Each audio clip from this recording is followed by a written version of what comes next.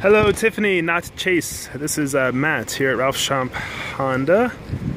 Thanks so much for looking into this Equinox. My apologies this morning for the email. Total mistake, obviously, but the Equinox, as you see here, is here and readily available.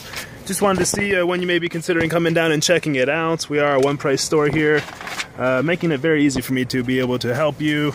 This thing actually looks in wonderful condition, so excited to show it to you if you wanted to maybe come down today. Uh, I'll be here through 9 o'clock.